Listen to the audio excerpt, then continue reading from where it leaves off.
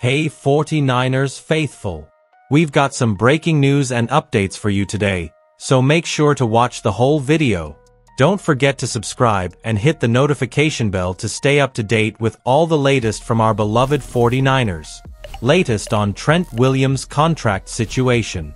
The 49ers enter the weekend with a pressing need to get Trent Williams signed.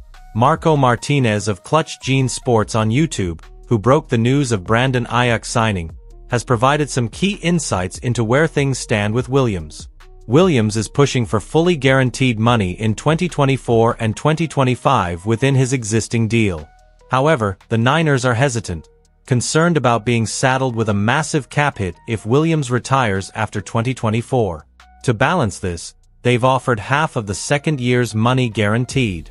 Both sides are working to resolve this issue, with the 49ers aiming to have Williams signed and practicing by Tuesday.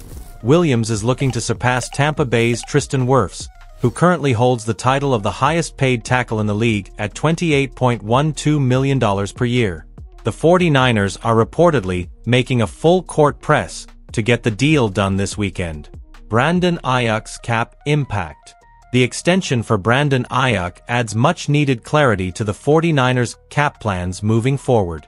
According to cap expert Jason Hurley of 49erscap.com, Aiyuk's deal effectively boils down to a three-year, $76 million contract.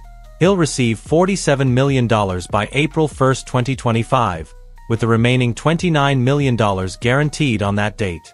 The structure of Aiyuk's contract is cap-friendly in the short term. 2024. $5.7 million cap hit.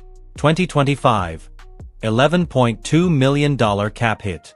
2026. $16.2 million cap hit. 2027. $42.25 million, non-guaranteed. 2028.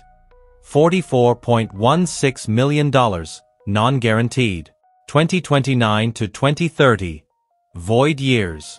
If the 49ers decide to move on from Aiyuk after the 2026 season, they'd face a dead cap hit of $33 million in 2027 but would save $8.9 million.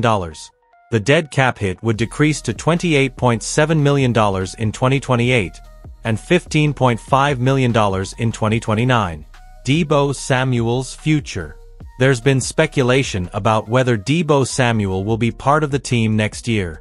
From a cap perspective, the 49ers don't have to move on from Samuel.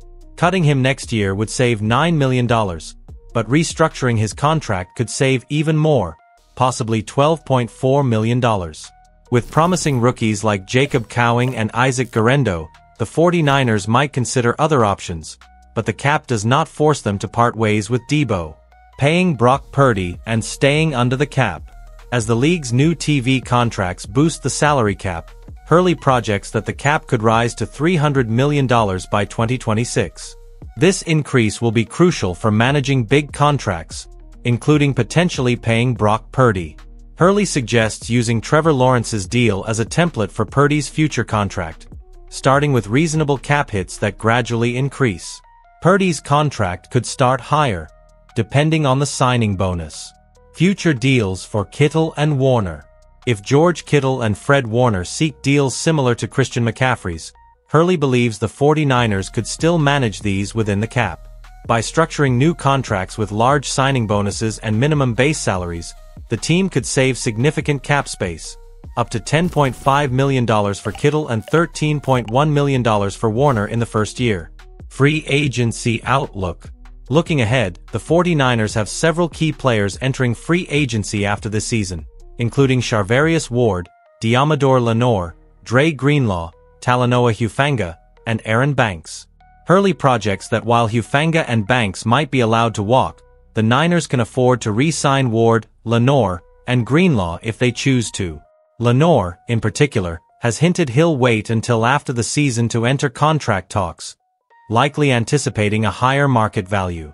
With 21 unrestricted free agents on the horizon, the 49ers will have some tough decisions to make, but most of these can be kept at around the league minimum.